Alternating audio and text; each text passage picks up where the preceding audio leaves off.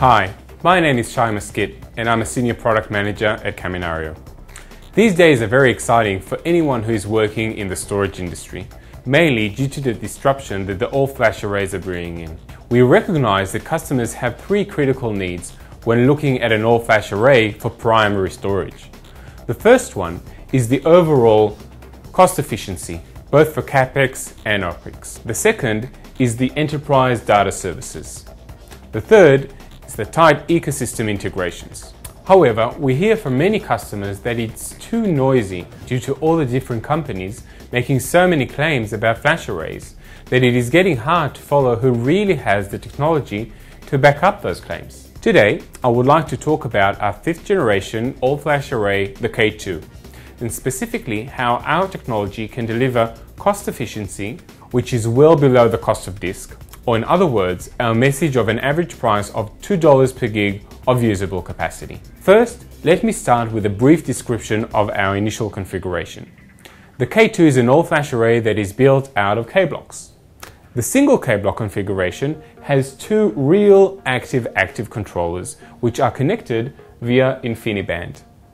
The controllers are connected via SAS to an SSD shelf with 24 SSDs. So here's a question for you. What does real active-active mean in the context of storage controllers? It means that all the LUNs in the array are accessible from both controllers and both controllers can access simultaneously the underlying SSD media.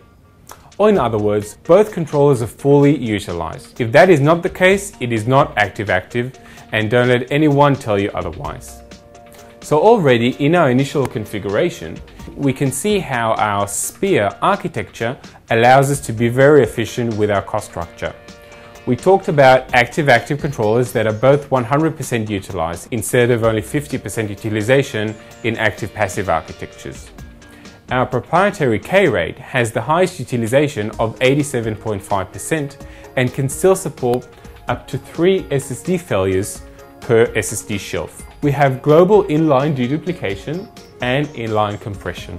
Now, let's talk about our ability to scale, or better yet, our ability to scale right. The Kaminario K2 has the unique ability to scale according to the customer needs, so customers pay only for what they need. If the customer needs more performance and capacity, then the K2 can scale out.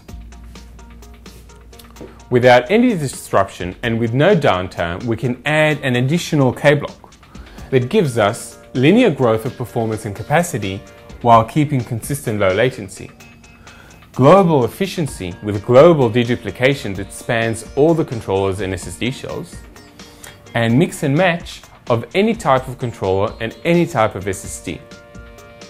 Or, if all the customer needs is more capacity, then the Kaminario K2 can scale up. We can simply add an expansion shelf, again, non-disruptively, and we achieve a lower dollar per gigabyte higher density, and also here we can mix and match to add any size of SSD. The flexibility of growing according to the customer needs doesn't end here, since from each of the configuration we talked about, we can scale directly to a dual K-block configuration with expansion shelves. Again, we can match, mix and match any of the controllers and SSDs with the most recent technology out there. So how did we become the most cost-efficient all-flash array? We built an architecture that allows us to bring down the price to an average of $2 a gig. The scale right approach that combines both scale up and scale out and gives the right solution for the customer without overcharging him. All-inclusive software pricing with no extra charge for software features such as deduplication, compression, snapshots and more. Our adaptive block size algorithm allows true consolidation of environments and mixed workloads. Lower OPEX, so there's no special setup. We have full non-disruptive upgrades, we have lower power and cooling costs, and a simplified management with a rich GUI, RESTful APIs, VMware vCenter plugin, and more. So as you can see, there is no need to compromise on your primary storage.